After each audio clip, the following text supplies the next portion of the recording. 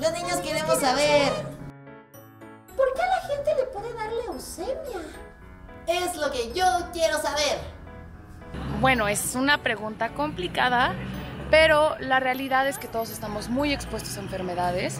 Mm, creo que aquí lo importante es saber que si tú tienes un síntoma extraño en tu cuerpo, que de repente sientes que te cansas más rápido de lo normal o que te duele el estómago cuando terminas de comer, cualquier cosa, por más insignificante que parezca, es importante que se lo comentes a tus papás, que les platiques que te estás sintiendo un poquito bajo de energía o que no te sientes tan bien como antes, porque así es como puedes tratar las enfermedades a tiempo y eso es lo más importante.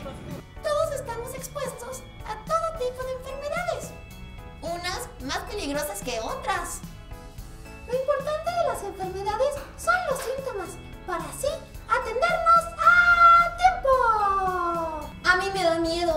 Yo nunca quiero enfermarme. Así que cualquier enfermedad, con la ayuda de doctores y con sus papis, la podemos curar.